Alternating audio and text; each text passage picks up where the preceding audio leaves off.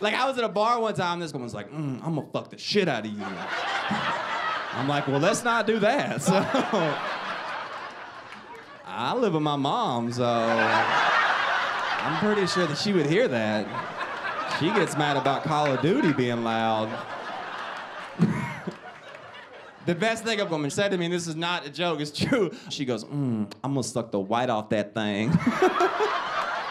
I'm like, what do you think's underneath?